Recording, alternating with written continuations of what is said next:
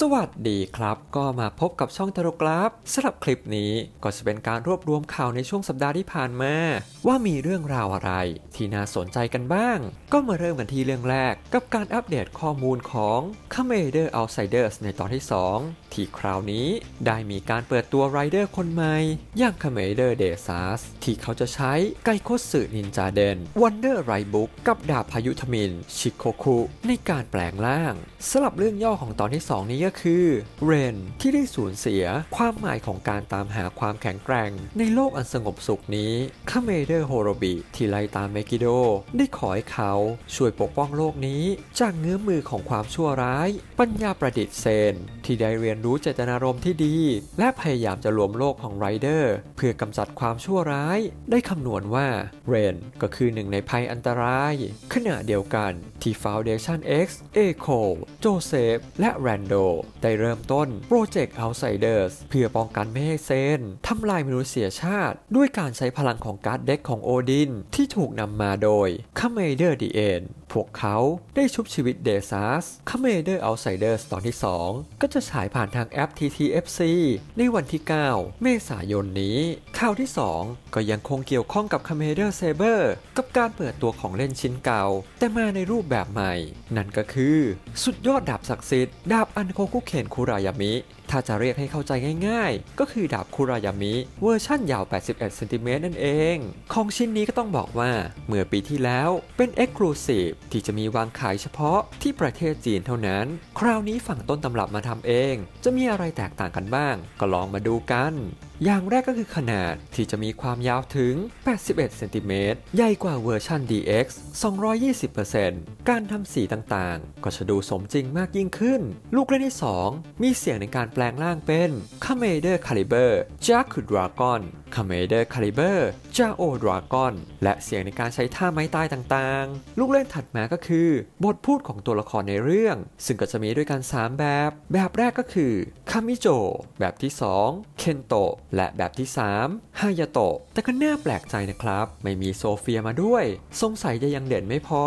และกดที่ช่วงท้ายของด้ามดาบ ก็จะสามารถเล่นเพลงประกอบได้ ซึ่งก็จะมีด้วยกัน 4 เพลง ส่วนใครที่กำลังสงสัยว่า ดาบเล่มนี้จะสาามารถสแกนบุ๊กได้ไหม ก็มีข้อมูลออกมาแล้วนะครับ ว่าไม่สามารถสแกนได้ แล้วของจีนกับของญี่ปุ่นมีขนาดเท่ากันไหม ก็ได้มีรูปเปรียบเทียบออกมาแล้วนะครับ ว่ามีขนาดเท่ากัน แต่สิ่งที่ต่างกันก็คือ การลงสีตัวบอดี้นั่นเอง ตัวซ้ายก็คือเวอร์ชั่นจีน ตัวขวาก็คือเวอร์ชั่นญี่ปุ่น ก็จะเห็นได้ว่าเวอร์ชันญี่ปุ่นมีความใกล้เคียงกับในเรื่องมากกว่า เวอร์ชันจีนจะใช้สีเนื้อพลาสติก แต่เวอร์ชันญี่ปุ่นจะเป็นการทำสีลงไป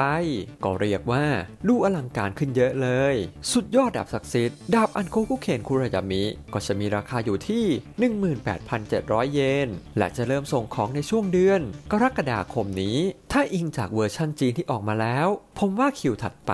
ก็คงจะเป็นดาบมูเมเคนเคียวมุนะครับข้าวถัดมาก็เป็นการร่วมมือกันของเครยอนชินจัง รวมกับภาพยนตร์ชินคาเมนไรเดอร์ที่จะได้มีตอนพิเศษ ซึ่งจะมีชื่อตอนว่าคาเมนไรเดอร์ดาโซในตอนพิเศษนี้ก็จะได้ 3 นักแสดงหลักมาพากย์เสียงเป็นตัวละครของตัวเองอีกด้วย คนแรกก็คือคุณอิเคมาสึโซซุเกะพากย์เป็นฮอนโกทาเคชิ คุณฮามาเบะมินามิพากย์เป็นมิโดริคาวารูริโก คุณเอโมโตะทาสึคุ พากย์เป็นอิจิมอนจิฮายาโตะสำหรับเรื่องย่อของตอนนี้ก็คือ รถบัสของชินโนสุเกะกำลังถูกปล้นคาเมนไรเดอร์ปะทะความชั่วร้าย คุณครูใหญ่ และครูมัตสึสกะถูกช็อกเกอร์ เปลี่ยนให้เป็นออก และได้มาปล้นรถบัส ที่มีชินโนสุเกะคาสมะคุงมาซาโอะคุงและเด็กคนอื่นๆอยู่คุโมออกได้มาถึง และพยายามจะลักพาตัวชินจังและเด็กๆ แต่ฮอนโกและอิจิมอนจิได้ปรากฏตัวขึ้น ทั้งสองแปลงร่างเป็นคาเมนไรเดอร์ และต่อสู้กับคุโมออก และรูริโก ก็เตรียมพร้อมที่จะช่วยเหลือเด็กๆ เรื่องราวสุดป่วนที่จะไม่ได้มีแค่ชินจัง กับคาเมนไรเดอร์เท่านั้น แต่จะมีหน้ากากแอคชั่นมาด้วย และก็ได้มีภาพเพิ่มเติม ของเหล่า Aug ในตอนนี้ คุณครูใหญ่กับครูมัตสึซากะยังไม่มีชื่ออย่างเป็นทางการนะครับ แต่ผมก็เรียกว่าหัวหน้า Gang Aug กับบวย Aug ไปก่อนละกัน ส่วนอีกตัวหนึ่งก็คือคุโม Aug แต่เขาจะไม่ใช่แมงมุม แต่จะเป็นเมฆเพราะเป็นการเล่นคำของตัวคันจิคำว่า くもที่แปลว่าเมฆแต่ก็มีเสียงไปพร้อมกับคำว่า くもที่แปลว่าแมงมุมนั่นเอง เครยอนชินจังตอนพิเศษคาเมนไรเดอร์ดะโซก็จะออกอากาศในวันที่ 18 มีนาคม วันเดียวกับที่ชินคาเมนไรเดอร์เข้าฉายในโรงภาพยนตร์นะครับ และสุดท้ายในช่วงวันอังคารที่ผ่านมา ก็ได้มีการฉาย First Screening ของชินคาเมนไรเดอร์ที่ทำให้เราได้ข้อมูลเพิ่มเติมว่าหนังเรื่องนี้จะมีความยาวถึง 2 ชั่วโมง 1 นาที 13 วินาที ก็เรียกว่ายาวพอสมควรเลยนะครับ ชินก็ซิล่ามีความยาวอยู่ที่1 ชั่วโมง 59 นาที ชินอุลตร้าแมนมีความยาวอยู่ที่ 1 ชั่วโมง 52 นาที ซึ่งหลังจากการฉาย First Screening จบไป หลายๆคนที่ได้ไปชมกันมา ก็ได้มีเขียนความรู้สึกสั้นๆ ลงตาม Twitter นะครับ ซึ่งเท่าที่ผมอ่านมา ก็บอกกันว่าทำออกมาได้ดี เวลา 2 ชั่วโมง ก็ผ่านไปเร็วมาก เรื่องราวสนุก แล้วก็มีเซอร์ไพรส์ด้านงานภาพกับแอคชั่นก็ทำออกมาได้ดี หลายๆคนก็อยากจะให้ถึงวันฉายจริงไวๆ เพราะมีเรื่องที่อยากจะพูดคุยกันเยอะเลย ก็ดูเหมือนว่าผลตอบรับออกมาค่อนข้างดีนะครับ แต่ผมก็ต้องบอกก่อนว่ารอบ First Screening นี้ คนที่ได้ดูส่วนใหญ่ก็ค่อนข้างจะเป็นทีมงานและผู้เกี่ยวข้อง ก็เลยอาจจะมีความไฮผสมเข้าไปเยอะ อาจจะดูเกินจริงกันไปบ้าง ความเห็นจริงๆ ยังไงก็ต้องรอดูวันหนังฉายนะครับ แต่ผมก็ได้อ่านความคิดเห็นบางส่วน ที่คิดว่าน่าสนใจ ก็เลยเอามาเล่าให้ได้ฟังกัน อันแรกก็จะบอกว่า